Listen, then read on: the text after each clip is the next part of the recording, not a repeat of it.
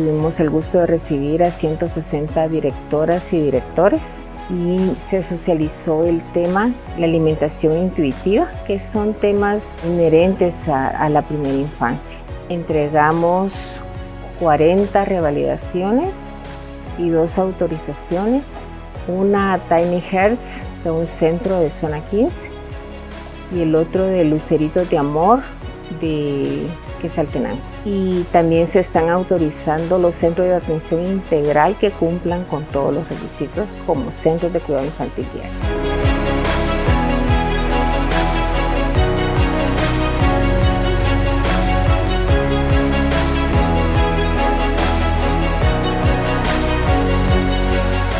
Secretaría de Bienestar Social de la Presidencia